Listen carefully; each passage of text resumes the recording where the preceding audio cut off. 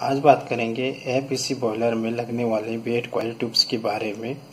क्या होता है बेड कॉयल ट्यूब्स सबसे पहले जो बेड कॉयल ट्यूब बना होता है कार्बन स्टील सिम्बलेस ट्यूब्स होती है।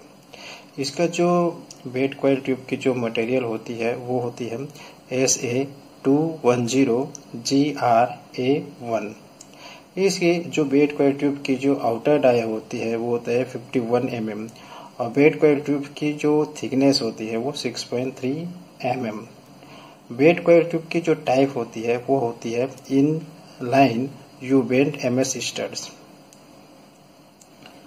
ठीक है, इसमें स्टड्स की जो डाया होती है वो थर्टीन तेरह एम एम की होती है।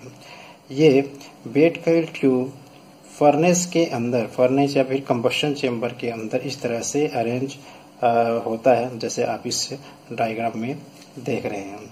इसमें दो हेडर होते हैं। पहला टॉप बेट कॉइल हेडर होता है।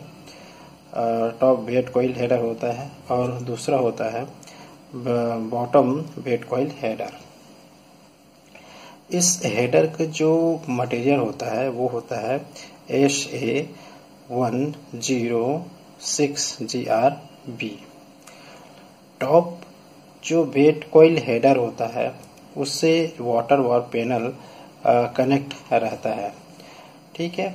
ये बेड कॉइल ट्यूब एक ई ऑपरेशन के कॉइल की तरह काम करता है, जिसमें वाटर ई ऑपरेट होता है। और साथ ही जो बॉयलर की हीटिंग सरफेस एरिया को ये बढ़ाता है, ताकि हाई हीट रेट अचीव कर सके। इसमें छोटे छोटे ईस्टर्स लगे होते हैं। ये क्या होता है?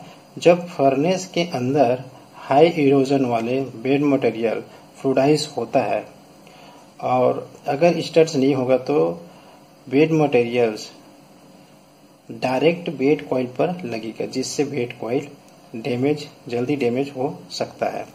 तो इसीलिए इसमें बेड इसमें, इसीलिए इसमें बेड ट्यूब की इरोजन जो इरोजन होता है, उसको मिनिमाइज करने के लिए इसमें बेड कोयल पर एक स्टडिंग बनाया जाता है। साथ ही ये स्टडिंग इम्प्रूव करता है हीट ट्रांसफ़र सरफेस को।